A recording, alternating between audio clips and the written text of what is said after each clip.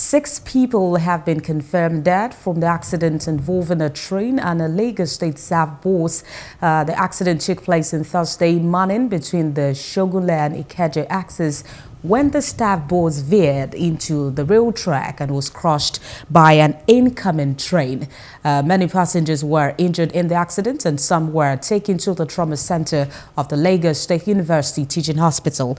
Speaking with journalists at LASUTH, uh, the governor Babajide Sanwo-Olu said four of the victims were confirmed dead at the hospital.